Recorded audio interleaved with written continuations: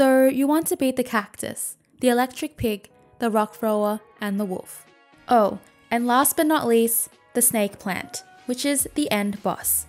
Well, you've come to the right place. If you haven't watched the first part of my chapter 7 guide, I recommend you have a look at that first before watching these boss guides.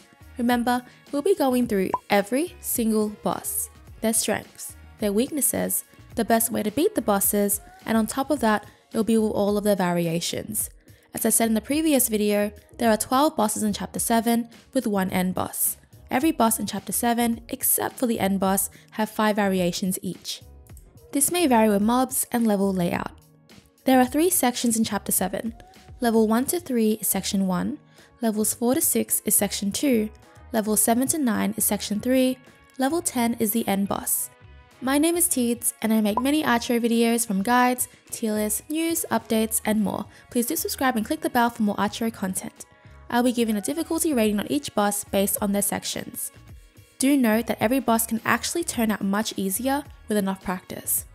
The later bosses are just harder because we don't reach them as often, therefore not getting as much practice in comparison to the earlier bosses. With the variations, when I say take out the mobs first, this does not mean ignore the boss and go straight for the mobs. You have to do it strategically, with good timing, otherwise you'll take a lot of unnecessary damage. Patiently approach the mobs that you need to focus on with some of the variations. Remember, you can level reroll your variations. If you find one variation harder than the other, feel free to reroll it. Before we begin, I just want to really emphasize these bosses, in my opinion, should be way harder than any of the previous bosses, because we get way less practice with them but like any boss in Archero, with enough practice, you'll be able to comfortably defeat them over time or at least find it a bit easier. Also, sorry if my voice sounds weird, I just woke up and I wanted to record this right away. Boss number one, the cactus. Difficulty, hard. Now personally, I find this boss the hardest boss in chapter 7. I pretty much got the pattern down, but I don't have a high chance of surviving this boss. I think in all my footage here for this boss, except for maybe two of the variations, I end up dying. I honestly have to work on my execution. Okay, pattern. He has high attack speed, has a jump where once he lands, he will fire one fast moving wind projectile in each diagonal direction.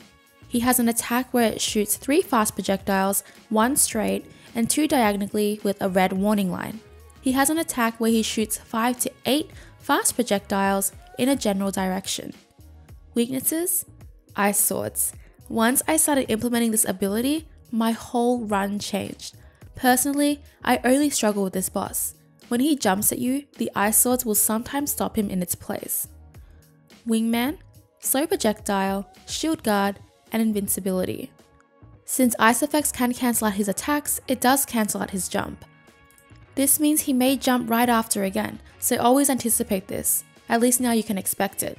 With this boss, you don't want to stay still for too long. He doesn't really give you a warning on when he's going to jump, so I usually take a few shots, move a bit, take a few shots, move a bit. When he does jump on you, do not move diagonally. Move straight up, straight down, straight left, or straight right because you're most likely going to get hit by his fast diagonal wind projectile. When he is firing his projectile shots at you, do not do full dodge movements. Just move slightly to the left or the right. If you run around, it's harder to avoid. For his three line projectiles, just move out of the way from the red. Always anticipate a jump when you enter the level. For variations, you want to try and get rid of the mobs as soon as possible, but your main priority is avoiding the attacks of the cactus. With these mobs, you may just get rid of them over time. Variation 1 Dragons. One dragon on your left and your right. Get out of the way as soon as you can. They're slow moving and they don't chase you. Their attacks are not super long range, so you can just stay on the other side of the map if you can't kill them quickly enough. Variation 2 Mini Cactus. Two small cactus that fire one line wind projectile. Try and get rid of the one on the right of you first. Variation 3 Mummies. They do not chase you, four will be placed on the level. You'll get rid of them over time. Try and stay out of their general area. Variation 4 Fire Ghost. Two will be placed on the level. They will hover around most of the time. Will fire a single red projectile at you. Variation 5 Plants. One snake plant on both sides of the boss, so total 2. Will fire red projectiles at your direction and then hide. Moving on to boss number 2, the electric pig. Difficulty average to hard. Pattern All the electric balls will split into two tiny balls. These balls will split roughly after 3 seconds. Fires two electric balls in your general direction. Fires two electric balls that go to your precise direction. Fires three electric balls, two going behind him or on the sides of him, and one going to your precise direction. The tiny balls will bounce twice on the wall before dispersing. Weaknesses Shield Guard, Wingman, and Invincibility. When Invincibility comes up, it's really nice to use just to run through the level to try and get into a better side. Tips Just like the Fire Pig, Slow Projectile may also stack up the attacks, so keep this in mind that it may make it harder. You can stay along the wall, but if you're panicky like me, because sometimes the balls split right along the wall, you may run into a bunch of them, trying to avoid the damage. I'm pretty good at watching the orbs, so sometimes I actually just run in between them all. However, the wall method should be easier, so there are two ways to do this. You can stay as far away as possible from the boss. This works if you can consistently move away from it, but it may be hard due to all the projectiles. As they do split after 3 seconds, the further you are away from them, the further they're going to split away from you. Otherwise, the second method, which can be harder in another way, is to be close to the boss and try and avoid the initial projectiles head on. That way, the projectiles will bounce against the wall and split away from you. If you have a level that has part of the map split off by the water where you can't reach, these work well for this method as the balls are most likely going to split behind you. Do not camp in the corners. Now, moving on to variations. Try and focus on taking out the mobs. Keep in mind, with all the projectiles flying around, you have to tread carefully. Variation 1 The Lightning Generators. I honestly find this variation the easiest because you just have to avoid the general area. Spawns 2 on the level. These generators will randomly place attacks with warnings on the map. Just stay out of the area. Take these out as fast as you can, destroying the closest one first. Variation 2 The Fire Bombs. Spawns 2 on the level. Will throw bombs that leave a damaging fire effect on the ground. Variation 3 The Spiders. Spiders that walk around randomly, they do not target you. Spawns 3 of them. Not a huge threat, but you may run into them. Variation 4 Purple Ghost. Fires a line projectile towards you. Can make it difficult to move around freely as it zones out a path. Most of the time, they do not fire frequently. Variation 5 Skeletons. Difficult if you can't take them out quickly. Spawns 2 that will chase you. If you don't take them out quickly, keep moving away from them. Boss number 3, the spinning rocks or spinning golems or rock throwers. Difficulty, hard. Pattern, widespread shot with 7 large stones in all directions it's facing. Spawns smaller versions of itself. Spawns as many small rocks as it wants, I've only reached 3 at a time. These small rocks will fire 3 widespread projectiles at you. The boss spins around in a melee attack, chasing you. Weaknesses Ice Sword. Just like the Cactus boss, the spinning melee attack can actually be countered by Ice Swords. Wingman, Slow Projectile, Shield Guard, and Ricochet. Tips Take out the mini golems as quick as possible. The more you let the small ones spawn, the harder it will be. Stay as far away as possible from the boss. The further you are, the easier it is to avoid his projectiles. Same goes for the mini versions, however, the boss takes priority. When he starts spinning, Run around in like a wonky square or triangle. Focus on running away from him until he stops spinning. When he stops, anticipate another spin, and remember Ice Swords can also counter this if he does reach you. You're only safe from the melee attack once he starts throwing projectiles or spawning golems again.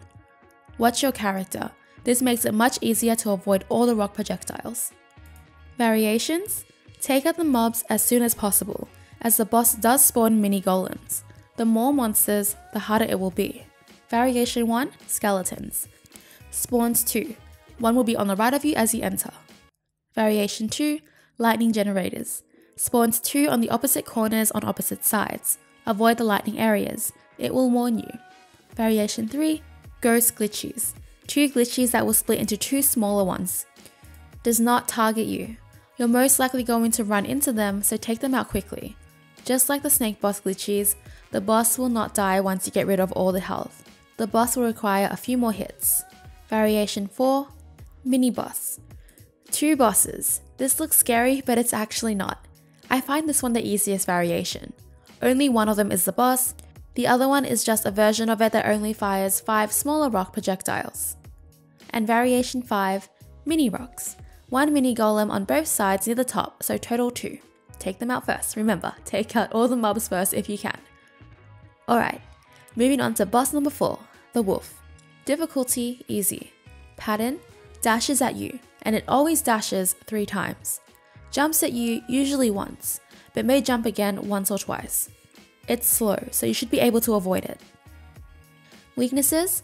Just like the cactus boss, the ice swords stops it in its tracks. So as you can see, the ice swords actually help a lot of the harder bosses in the end. However, resetting the ability, it will dash again. The ice swords work nicely here for the times you're about to get hit by the boss, but it's not really needed as well because this boss is actually pretty simple. Tips When it's dashing, count the dashes. Remember, always three before a longer pause or jump.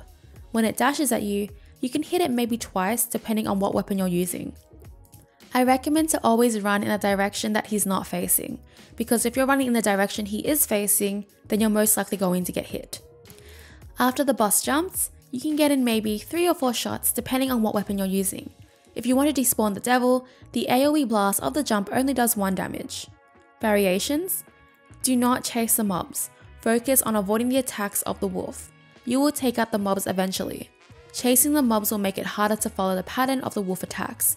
Of course, you can always just run into the general direction, but your location will always depend on where the wolf pushes you. So what I do basically with the mobs here, instead of attacking the wolf, I attack the mob. For example, the dog dashes once, that gives me a couple of shots. I will focus the attack on the mob if I can reach it, otherwise it just goes to the boss. Variation 1, bats. Spawns 2 bats, one on the right and one on the left. Make sure to move out of the way, otherwise you may be hit by the dash. Variation 2, the snake plants. 4 snake plants that will shoot in your direction. There is one in each corner. They will hide and pop up again to attack, repeating the cycle. Variation 3, laser bats. Anything with laser bats is hard in my opinion. There are 3 laser bats. To set in their attack, you have to stand there for a second. However, this can be tricky because the wolf is chasing you. So I kind of let the red line follow me even though it's harder to avoid. Try to get rid of these bats as soon as possible. Variation 4 Mini Wolves. Two grey wolves that only dash in straight directions, two brown wolves that dash in all directions. Focus on avoiding the boss's attacks. You will take out these wolves over time. Variation 5 Skeletons. Two skeletons, one on each side of the wolf as you enter. And that is all for section 3. Now we're finally up to the last boss of chapter 7, the end boss, the double snake plants. Pattern hides in the ground. When it pops up, it fires 5 medium pace projectiles in all directions. When it's popped up, it will fire one big fast red projectile that will split on contact into 8 smaller slower projectiles. After that, it always just goes back into the ground. He always attacks once and then goes back down, attacks once and then goes back down, and it'll always be that fast red projectile. These fast projectiles will split against the wall. Weaknesses Wingman, slow projectile, invincibility, walls, some ice effects. So, with the ice effects, there is a con and a pro. The ice effect can cancel out the boss's animation, so it can keep it in one place. However, it can also ruin the flow as sometimes you may have them both fire at the same time, which makes it easier. But that is all dependent on luck. Tips Ideally, you want the boss's attacks to be simultaneous, as it will be easier to dodge. However, I did beat the boss like this, so it's very possible to defeat them without that luck. Your abilities will make or break your boss fight here. I actually don't find this boss that hard, but due to the lack of practice we get, it obviously feels harder. Try and stay as far away from the boss as possible. It makes it easier to dodge the attacks. Do not make contact with the wall. You can stay close to the wall, but do not touch it. This is because the big projectile will split against the wall, causing two of the smaller projectiles to run down the wall.